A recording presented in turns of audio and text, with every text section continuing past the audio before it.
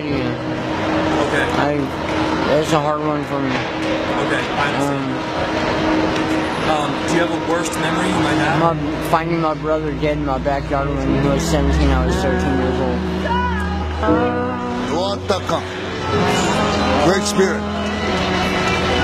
And my life. Very much, I do believe there is a Mother Earth, Father Sky, and we're all Hello. his children.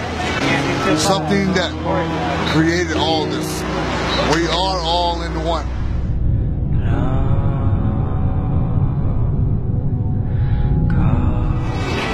Best memory would be the look on my grandfather's face when I graduated from airborne school. Worst memory? Waking up without being able to feel my legs. My best memory.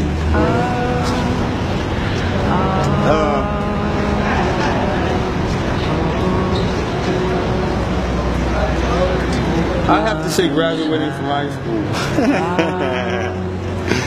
I didn't think I was going to graduate. A lot of people didn't think I was going to graduate. Graduating from high school. And also, uh, when I was in the eighth grade, uh, being a, a high scorer in a basketball game, and I did it in front of my brother and my father, so that was like a big moment for me. My father wouldn't let me go to my graduation party, and I was 19. And I had just graduated from high school because the party was all night. I had old-fashioned parents. You know what I mean? I can still feel when my son needs me, you know. So this this make me cry sometimes.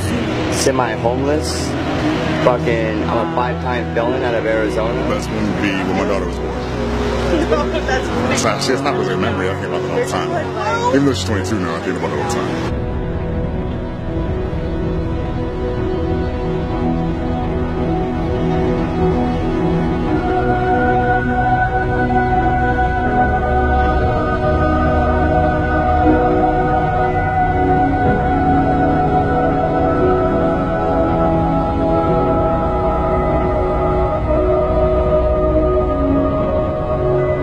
Cousin was crying at my aunt's funeral, and I turned away from her. You should never turn your back on somebody who needs help. That's the worst memory.